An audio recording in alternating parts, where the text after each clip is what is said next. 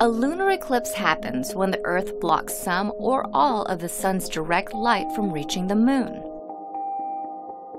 This cosmic event only takes place during a full moon, which happens once every 29 and a half days, or the length of one full orbit of the moon around the Earth. So, why don't we have an eclipse every month?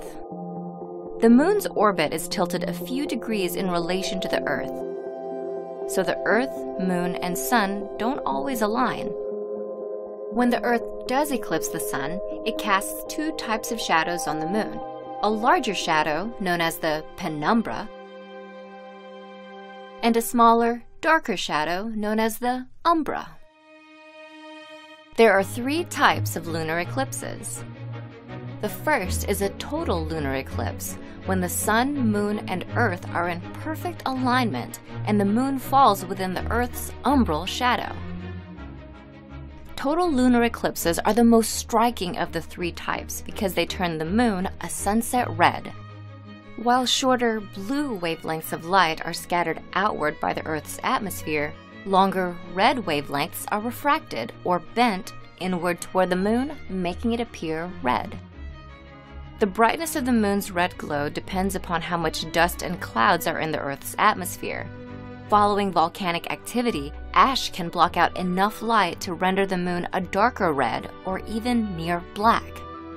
A partial lunar eclipse, the second type, occurs when the Earth, Moon, and Sun don't perfectly align, so only part of the moon passes into Earth's umbra. Earth's shadow appears very dark on the side of the moon facing Earth. Last, a penumbral lunar eclipse occurs when the moon passes through Earth's penumbral shadow. The event is so subtle that most people don't even notice. The moon will appear just slightly darker than normal. Lunar eclipses occur up to three times a year and can be observed from the entire nighttime half of the Earth. Unlike during a solar eclipse, it's safe to look at the moon with the naked eye during a lunar eclipse. It is only because of the distances of the sun and moon from the earth that we are able to witness total lunar eclipses. As the moon inches away from the earth each year, one day, billions of years from now, the moon will be too far away to fall completely within Earth's umbral shadow.